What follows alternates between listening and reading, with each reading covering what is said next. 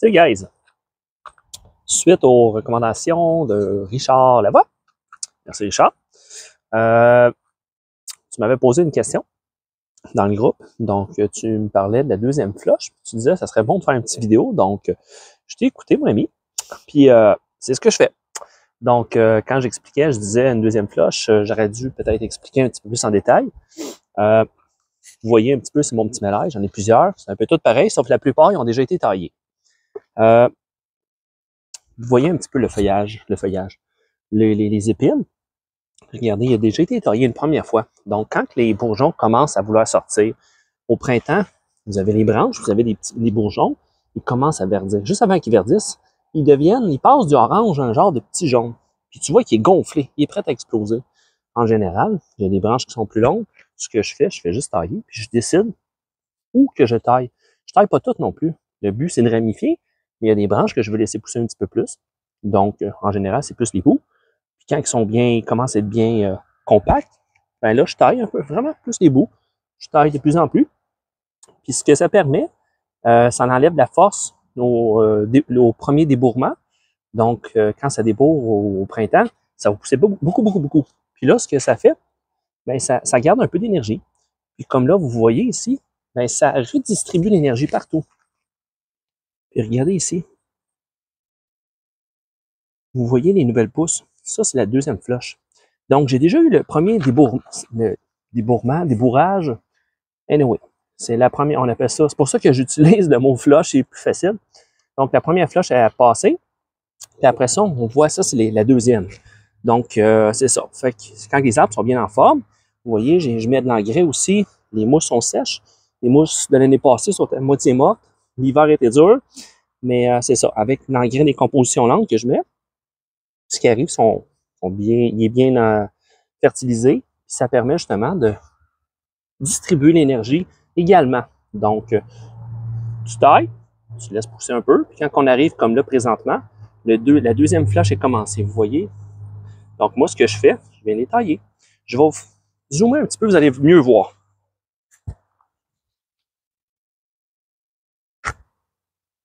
Bon. Donc, vous voyez, comme j'expliquais, regardez, vous voyez probablement mieux que tantôt. Donc, ce que je fais simplement, c'est la même chose. Je viens juste repincer. Il y a des endroits que je veux que ça pousse plus, puis d'autres que je... Comme je tout le temps, si vous voulez que ça pousse, il faut laisser aller. Donc, sinon, il y a des endroits, les bouts, tous les bouts de branches, c'est là que l'énergie, ça va pousser de plus en plus. Comme un arbre, vous plantez un arbre, la cime va pousser très vite, les branches secondaires poussent moins vite. Plus, tu es au, au niveau de l'apex, plus ça va pousser vite. Donc, c'est un peu le même principe. Il y a des endroits à l'intérieur, dépendant. Il des endroits, je vais laisser pousser un petit peu plus. On pense toujours à élaborer nos triangles. Donc, c'est un petit peu le même principe. On pince avec les doigts. J'ai des cutters ici. Les cutters, ça sert aux branches. Donc, euh, on utilise ça. Puis pour, justement, un exemple comme ça ici, si vous coupez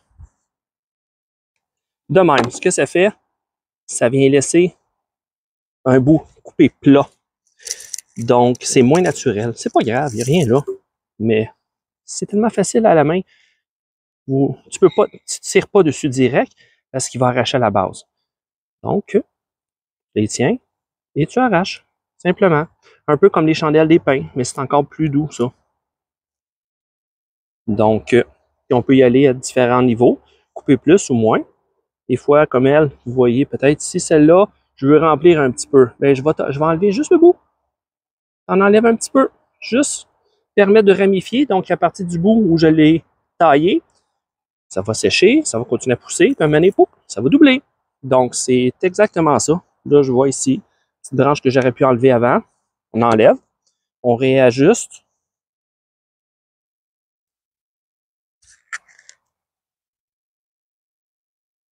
On taille, on taille, on taille, on en laisse un petit peu, on égalise. C'est intéressant, c'est comme si on avait euh, deux printemps, en fait. Au printemps, on a bien hâte que tout sorte. Puis regardez, là, on en a une deuxième floche. Donc, euh, quand ils sont bien en forme, là, ça, a une belle croissance. Tiens. Pas plus compliqué que ça, juste petite taille vite faite. Donc, ça répartit l'énergie.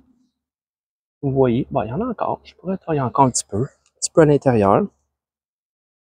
Il faut les laisser aller, les arbres. Il n'y a pas, euh, y a pas de, de grosse règle. Les laisses aller. Tiens, surtout les malines en plus. Non, de même, c'est sharp. Puis c'est beau. Le nouveau feuillage qui sort, là, il y a une belle petite teinte. Donc, euh, c'est le fun de voir la belle vigueur de même dans les arbres. Surtout, euh, cette coquille-là. C'est un arbre qui n'a pas beaucoup, beaucoup de, de, de, terre, comme on dit. Fait que, regardez, ça pousse parfaitement. Donc, euh, c'était mon petit vidéo. Puis, euh, merci encore, Richard, pour l'idée. Puis, euh, sur ça, ben, je vous en souhaite une bonne. Salut!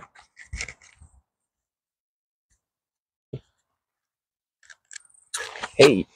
Encore moi. Petite affaire que j'ai oublié de mentionner dans mon vidéo. Première floche, deuxième floche, OK? La deuxième floche, en général, arrive un petit peu plus tard dans la saison. Si vous ne l'avez pas, faites-vous-en pas. Euh, c'est juste qu'il n'est probablement pas encore arrivé. Cet arbre-là, il était à l'abri pendant l'hiver. Il n'était pas dehors. Il était en dedans de mon garage, 5 degrés Celsius. Donc, il était hivernisé dans mon garage. Donc, j'ai bien pris soin de lui pendant tout l'hiver. C'était mon petit bébé, donc je l'ai gardé à l'intérieur. Ce qui fait que le débourrement est fait bien avant. Donc, le printemps, quand les températures, la neige fond, les bourgeons commencent à se préparer tranquillement. Puis quand on commence à avoir les premières chaleurs, ça commence tranquillement, tranquillement, puis à donné, pouf, ça pousse. Moi, quand j'y prends, j'y mets dehors, ils sont déjà prêts. Les bourgeons, là, même, ils sont verts, là, puis ils sont sur le bord d'exploser, ils attendent juste d'être mis dehors. Donc, c'est ça l'affaire. J'ai un petit peu d'avance. En général, mi-juin, fin juin, il peut y avoir deux, trois semaines de différence en général. Fait que c'est juste donner un, un avant-goût, si vous en avez, qui est vernise à l'extérieur. Ce qui est bien correct aussi. Peut-être pas quand il est dans des pots comme ça, parce que les pots vont craquer. Euh, mais si vous les hivernisez euh, dans votre jardin, exemple, quelque chose comme ça, il n'y a pas aucun problème. Puis ça va juste arriver dans pas long. Donc, il faut juste attendre un petit peu, vous allez voir la même affaire. Donc, c'était juste euh, un petit détail que je voulais rajouter. Salut!